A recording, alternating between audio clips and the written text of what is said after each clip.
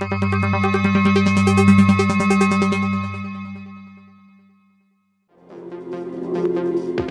Văn hóa Thể thao và Du lịch chính thức công bố 10 sự kiện tiêu biểu năm 2017 thuộc lĩnh vực Bộ Quản lý.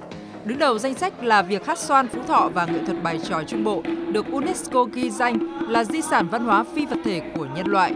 Trong lĩnh vực văn hóa, ấn tượng những ngày văn hóa Nga tại Việt Nam cũng được Bộ bình chọn là sự kiện tiêu biểu.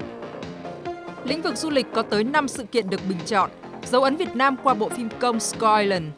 Khách quốc tế đến Việt Nam tăng trưởng kỷ lục trong năm 2017. Luật du lịch 2017 được thông qua với nhiều nội dung thúc đẩy phát triển du lịch. Nghị quyết của Bộ Chính trị về phát triển du lịch trở thành ngành kinh tế mũi nhọn. Du lịch Việt Nam giành nhiều giải thưởng danh giá của Tổ chức Du lịch Thế giới.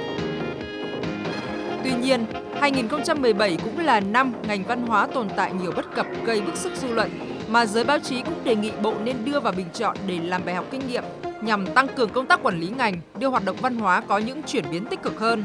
Đó là việc cấm năm bài hát sáng tác trước năm 1975, công bố phổ biến hơn 300 bài hát cách mạng, điều chỉnh quy hoạch bán đảo Sơn Trà, ra quyết định vội vàng xử lý ông Huỳnh Tấn Vinh, Chủ tịch Hiệp hội Du lịch Đà Nẵng về phát ngôn liên quan đến Sơn Trà.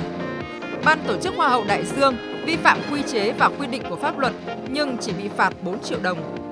Lý giải về việc không đưa các sự kiện bất cập vào danh sách bình chọn, ông Nguyễn Thái Bình, tránh văn phòng Bộ cho biết, trong năm vừa qua có rất nhiều bất cập trong lĩnh vực văn hóa thể thao du lịch.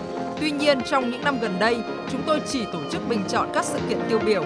Những việc bất cập không phải chúng tôi quên đi, che giấu, mà từng bước khắc phục sao cho tốt hơn.